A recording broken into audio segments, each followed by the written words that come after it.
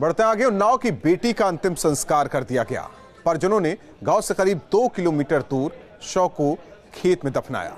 पीड़ित परिवार मुख्यमंत्री को बुलाने की मांग पर अड़ा रहा। हाल अफसरों ने नौकरी, पक्के मकान, सुरक्षा और हथियार के लाइसेंस आश्वासन इन लोगों को दिया, परिवार वालों को दिया तो पीड़ित परिवार अंतिम संस्कार को राज़ी हुआ।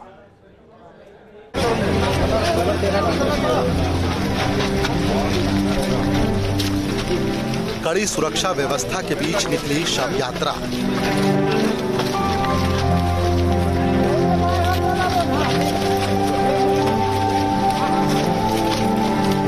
अंतिम संस्कार में शामिल हुए नेता और मंत्री। शव को दफनाकर किया अंतिम संस्कार।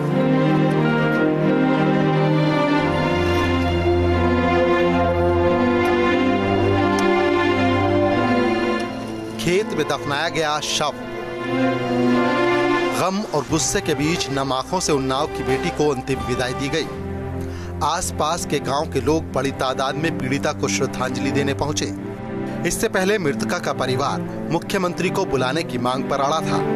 मांगे यही है कि योगी सरकार हमें जजमेंट तुरंत जजमेंट दे। इसलिए जजमेंट दे, मरने वाला बयान दे के गया है।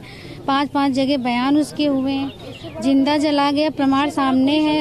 हंगामे के बीच पुलिस प्रशासन के आला अफसर मृतका के परिवार से मिलने पहुँचे। नौकरी सुरक्षा और मकान का आश्वासन मिला तो परिवार अंतिम संस्कार को राज़ी हुआ। आत्मरक्षा अलग से हम आर्म्स लाइसेंस भी जैसे नियम के अनुसार आर्म्स एक्ट के अनुसार प्रोवाइड कराएँगे। बहन को बीए पास है तो एक उचित नौकरी का बंदोबस्त भी हम लोग करेंगे।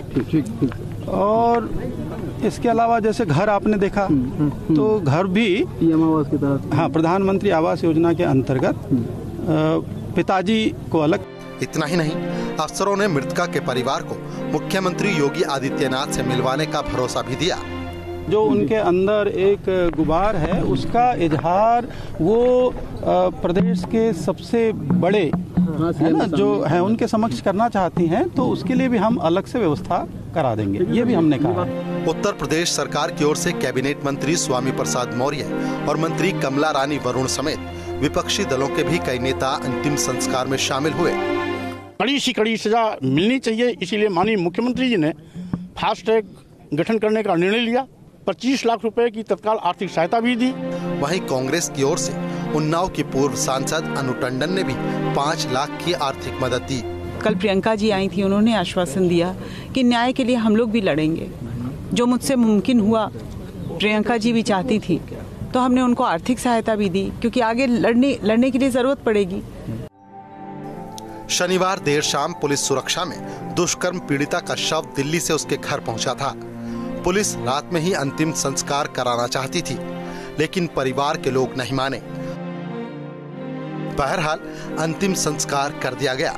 दोषियों को सख्त और जल्द सजा दिलाने के लिए सरकार ने मामला फास्ट ट्रैक कोर्ट में ले जाने का दिलासा भी दिया है। देखना होगा कि उन्नाव की बेटी को इंसाफ के लिए कितना इंतज़ार करना होगा।